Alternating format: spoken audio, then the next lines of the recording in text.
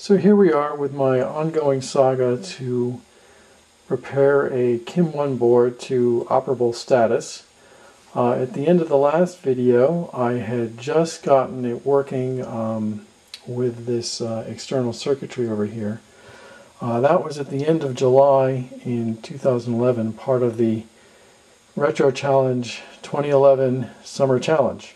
And it's now five months later and I'd just like to go over a few things that are new about this uh, restoration effort. Uh, at the end of the Retro Challenge, I had it just working like this, where uh, I've got uh, a working CPU, a missing RAM ROM IO timer, and one that's being replaced by all the circuitry. And uh, the memory was uh, inoperable, and I had just replaced the displays. And I still haven't done anything with the analog work here. But um, what's new since uh, the end of the 2011 Summer Challenge is that um, I have now replaced two of the RAM chips that were faulty. As you can see, there's um, sockets under there. So if I have to replace them again, I just put in a new chip. But uh, these are 2102 static RAM parts. That means they are 1 bit by 1K addressable. And so together I have 1K bytes of static RAM on the board. Uh, in the summer I was using a um, RAM part here. This is now taken out of the circuit. Uh, in the summer I had a um, KIM ROM monitor, but I had uh, reassembled it for some changes in uh, addressing locations of I.O. and, and uh, the RAM in my RAM I.O. timer chip. This is a 6532, which is not quite like the 6530 here, but is close enough to replace replace it. But um, in the summer, the uh, I did not have my glue logic right, and the the addresses were different, so I had um, to uh, adjust the ROM. But since then, I have uh, changed the addressing a little bit, and now I'm using stock firmware. This is the KIM-1 firmware as it was designed in the 70s, and is now uh, running my uh, KIM-1 here.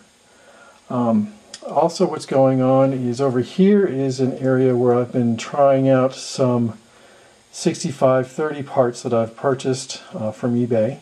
I have uh, two different varieties. One is a, a MOS 6530-013.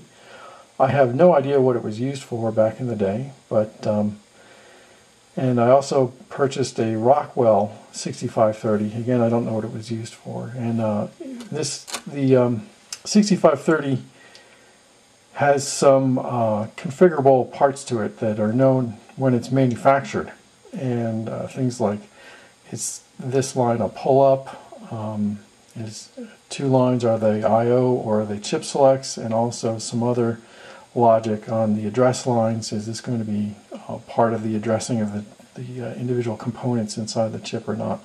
So over here I've been um, experimenting with the 6530s I've purchased to see uh, what's in them. And it turns out that the MOS one is good enough to uh, be used as a replacement um, over here. So I um, want to uh, create a daughter board that will go there using a 6530 and a external EEPROM and some glue logic. So uh, skipping ahead, uh, in uh, December I uh, basically put this board together where uh, it's a 6530 for some other purpose EEPROM again with the stock KIM ROM software some glue logic and uh, I'll uh, put it in place. So here we are with the 6530 replacement daughter board in place. Uh, the main um, expansion connector is disconnected now so all we're getting from the breadboard is, is the power and this is a decoder enable which is actually grounded indicating we use the onboard decoder for the KIM-1. So I'll go over here and we'll give it power and reset. And we have an operating Kim 1.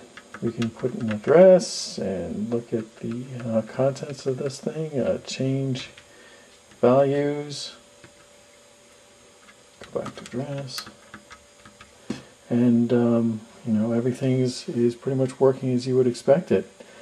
So uh, now we're ready to get started with the retro challenge for 2012 winter warm-up.